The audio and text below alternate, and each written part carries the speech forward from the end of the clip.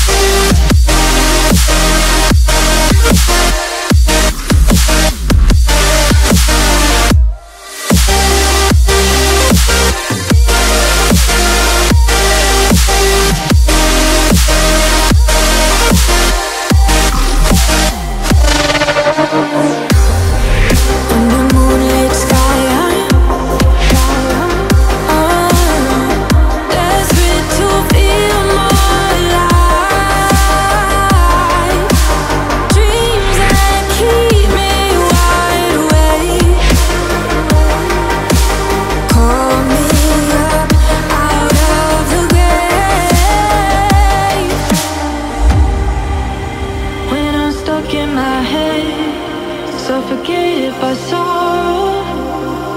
My bones start to disappear.